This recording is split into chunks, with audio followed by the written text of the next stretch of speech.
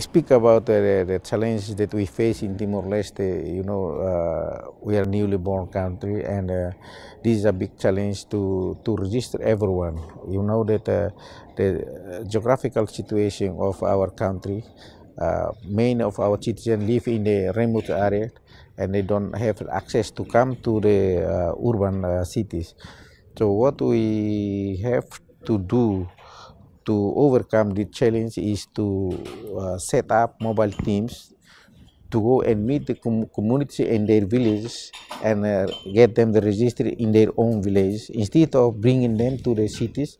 Because uh, if we bring them to the uh, to the cities they will waste their time they will uh, waste their, their, resources. So uh, our uh, government has its own priority